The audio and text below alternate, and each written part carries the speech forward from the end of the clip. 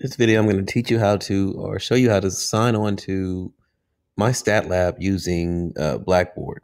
And in order to do this, what's going to end up happening is we're going to use a single sign on.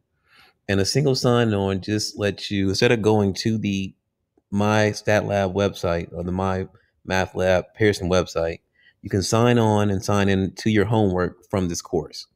So starting in this course, you'll see on this left hand side over here, we have the My Stat Lab homework link if you click on this link, it'll populate a list of applications that are using my labs um, in this particular course. And so all you're going to do is click on one of these links. Any one of these links will take you there. I'll click on My Lab Stat All Assignments.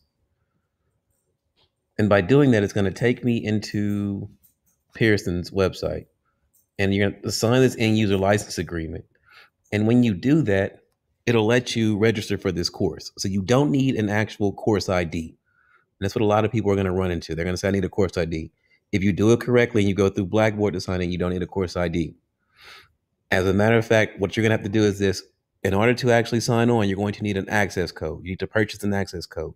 When you get to this part, here's what's going to happen. You can sign in the Blackboard, and after you do all this, you'll come down to this part right here where it says for the access options, you either have a prepaid access code where you bought a book. You can use a credit card, which is what most people will probably do. Use a credit card. Um, a lot of you will probably use your temporary access, which only gives you about two weeks of using it before you have to actually purchase.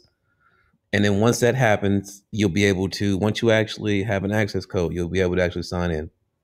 So again, everything happens through Blackboard though. We don't go to the actual Pearson website to do this.